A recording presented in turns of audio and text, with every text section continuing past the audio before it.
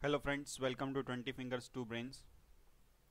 In our last video we have seen how to add a new category.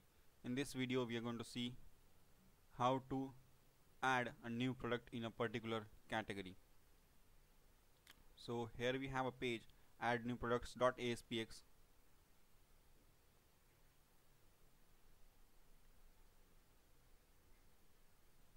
on this page we have already discussed how we have designed this entire layout. Now if we go in the code behind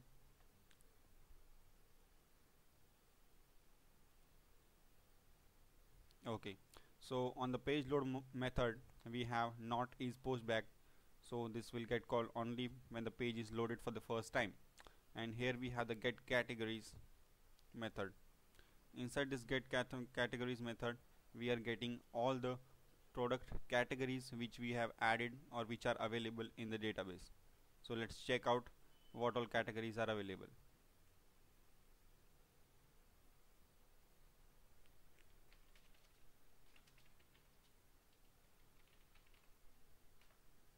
So here we have seven categories. So first of all we are creating an object of shopping cart which is a part of business layer and then we are not uh, passing any variables because we just want to get all the categories which are available in the database. We are creating a we are calling a method get categories and that this method is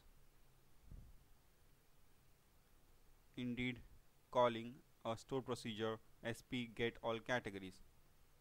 And we are not passing any parameters over here.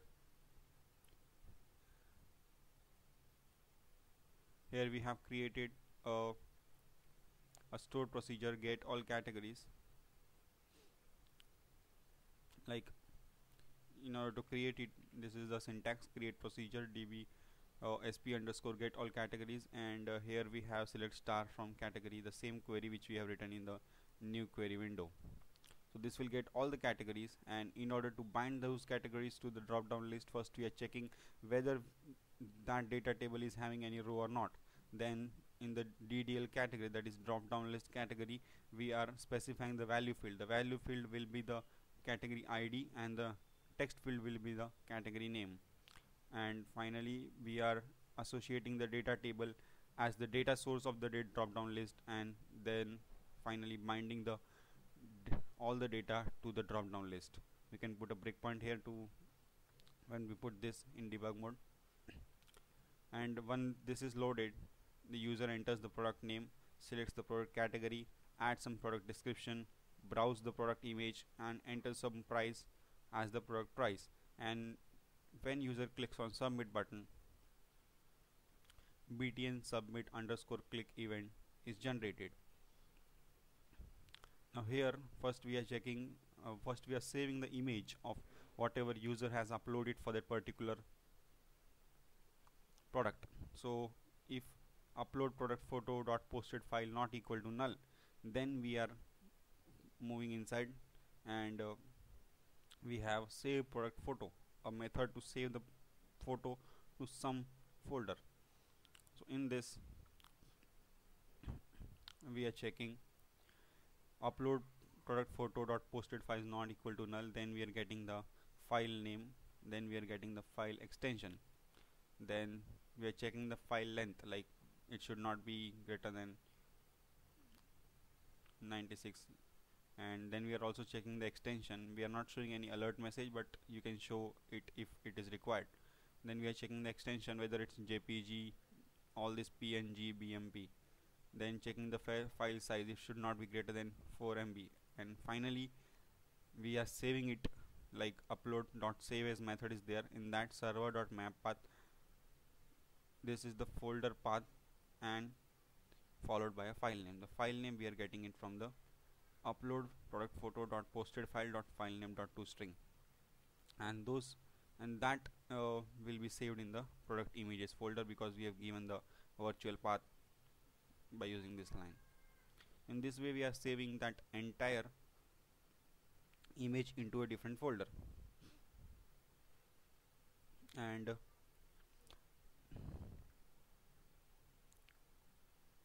once that file is uploaded to the folder we are only saving the name of that image into our database for our reference so that we can while showing that image from the uh, in the shopping cart we can use that reference to pull that image from that folder.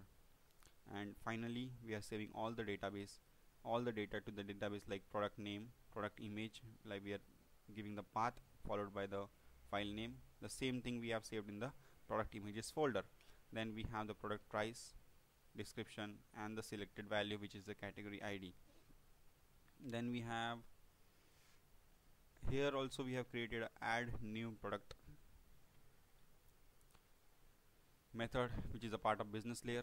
Here we are passing all the parameters like product name product price product image product description and category id which is a in all five parameters and we are calling a store procedure sp add new product. This sp will get executed by execute data by procedure which is a part of data layer. We have already discussed this part. That is quite simple. Now add new product. What this store procedure is doing? We have a product add a new product.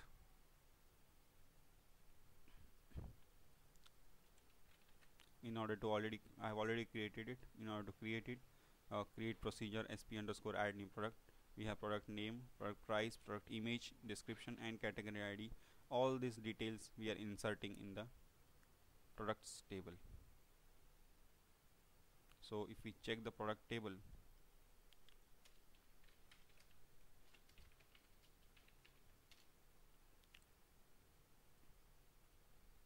we have the product id which is a unique key. Then these are all details. And this product a particular products belong to which category id that we are that is actually the link between the the products and category table. So let's debug this. We have put a breakpoint over here. And also a breakpoint here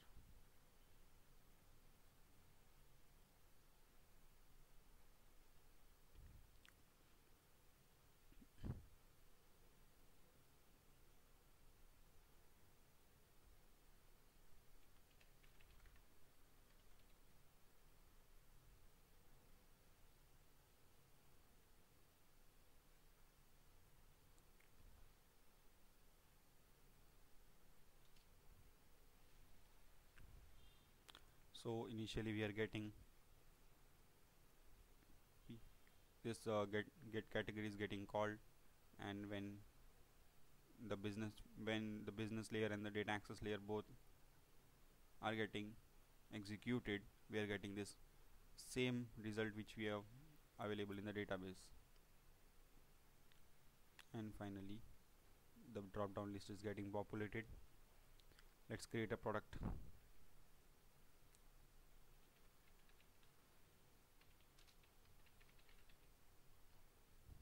we have some जो let's create some dummy records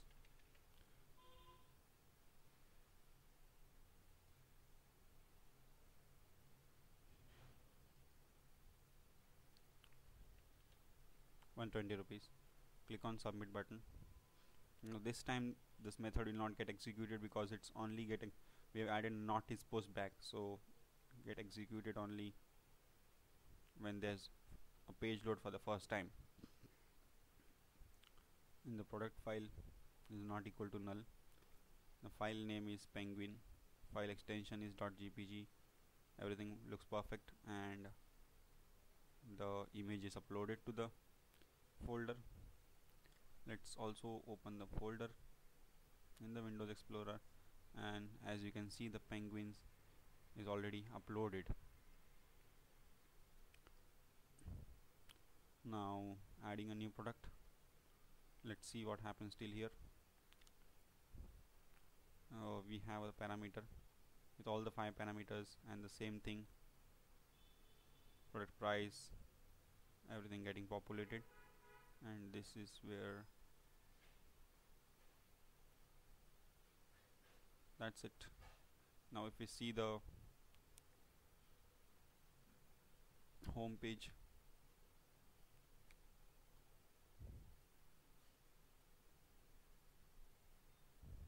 in the we have already have this penguin. This is what we have added as a nature painting.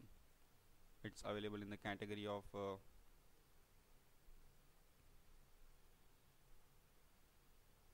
real estate. So this is what is getting displayed in the on the home page so in this tutorial we see how we are adding a new product in a particular category.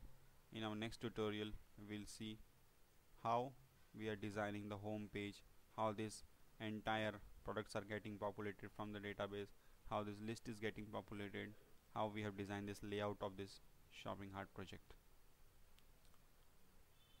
So thank you for watching this video. For next videos you can subscribe our channel. Also you can like our facebook page thank you. Thank you once again